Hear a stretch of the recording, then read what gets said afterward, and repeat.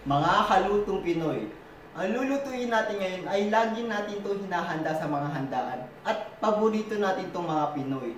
Ito ang tinatawag na carbonara. Tara, maglutong Pinoy na tayo. So, meron ako ditong pasta na ginawa na alam kong kaya niya na gawin. So, magsusutoy muna tayo ng ating aromatics. So, meron ako ditong butter,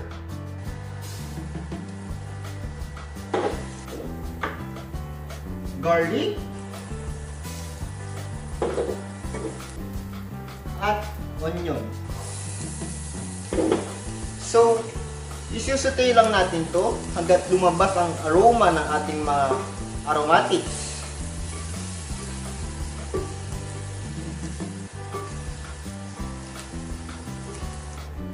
So, lumalabas ang ating aroma ng ating mga aromatics at nagiging toasty ng ating garlic. So, ilalagay ko ng ating bacon.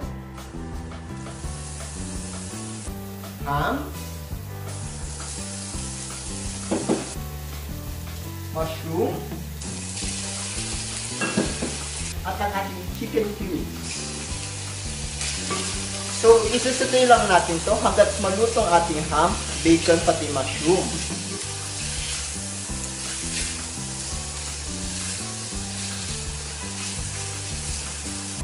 So, after a few minutes of sauteing, so, lumalabas na ang ating smokiness ng ating bacon, ang flavors ng ating mushroom. So, ilalagay ko ng ating herbs, ang dried parsley.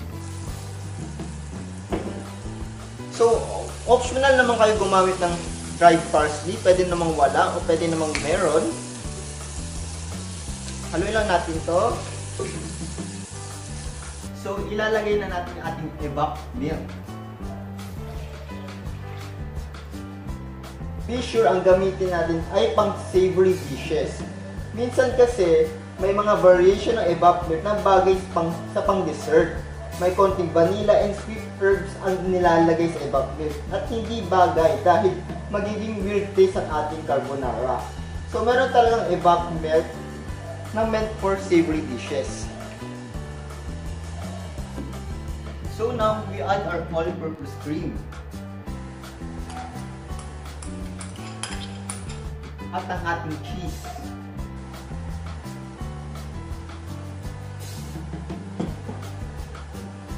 And we mix this hanggat magpitin ng ating sauce.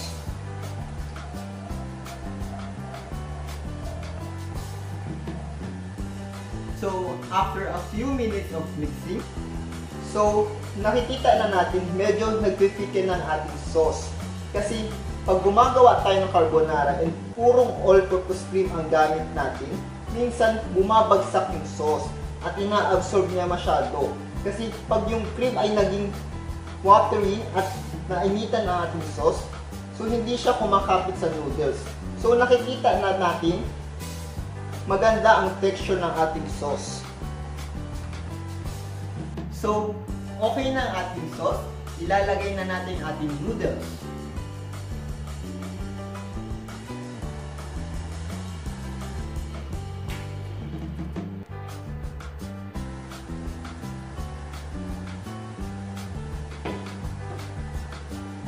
So, the noodles is cooked al dente, yung tama lang ang luto niya. Mag-continue siya mag-cook with the sauce. Pag na-overcook ang noodles mo, magiging soggy siya. So, it has to be just cooked right. Ibig sabihin na al dente, may konting bite. So, our carbonara is very creamy.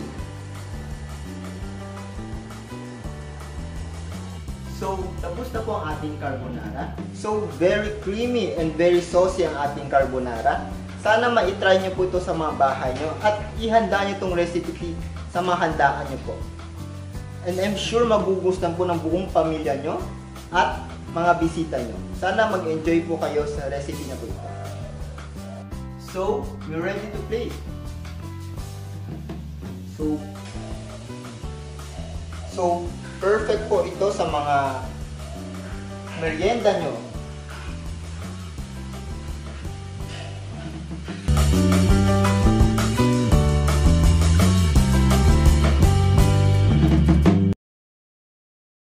Carbonara Lutong Pinoy! Please don't forget to like and subscribe to our YouTube and Facebook channel, Lutong Pinoy.